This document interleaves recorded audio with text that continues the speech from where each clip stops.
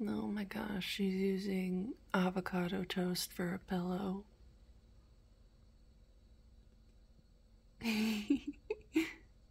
She's like, no, I'm not.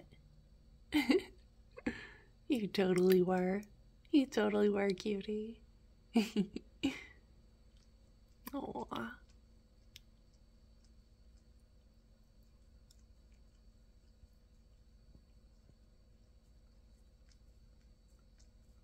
So cute.